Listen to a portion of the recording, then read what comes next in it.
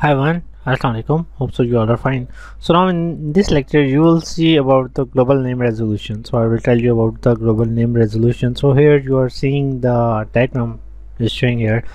So now this process is called a recursive process.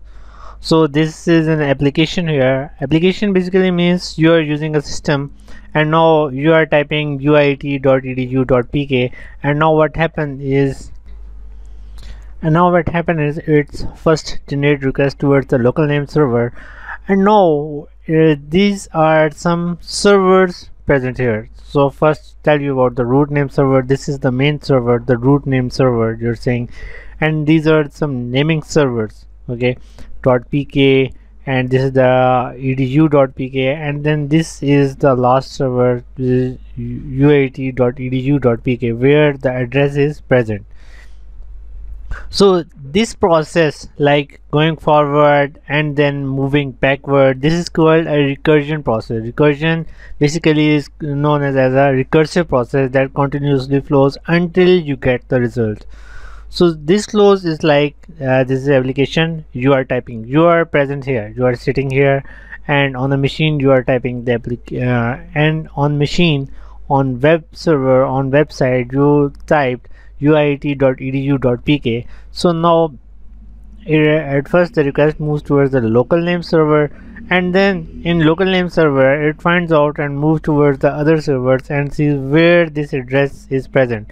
So now at first it moved toward the root name server and where it's a IP of uh, naming server in PK so it moves towards the PK server where the .pk is present. So uh, it then move backward and uh, it tells that the dot .pk server is present here in the next server and you have to move towards that. And again it moves there.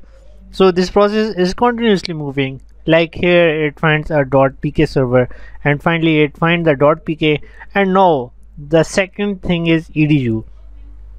This is the second domains and now uh, what it happened is it then moved back with this their IP of uh, uh, naming server in edu.pk it tells this to this local name server and local name server again reply back and move towards the uh, local name server again moves towards the name server uh, the next name server which is edu.pk so two domains are completed and now it moves towards the UIT and this UIT is present in the next the uh, last name server.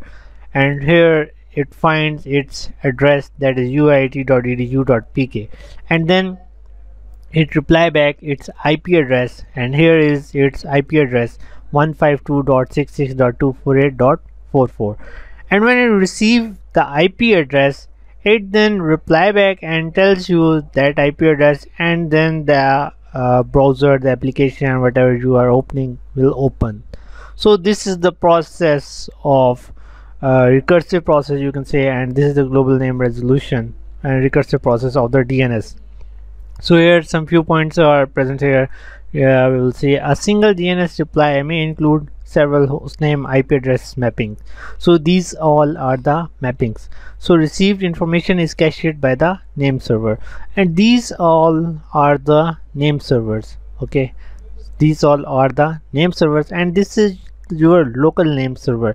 You can find out hundreds of examples in on the Google. You can uh, go on and write it about this thing that I already told you uh, it's a recursive process of DNS server. So this will help you out more and you will figure it out. Uh, it's on you how long you search and how much you search. It's up to you. So meet you next lecture. Allah Hafiz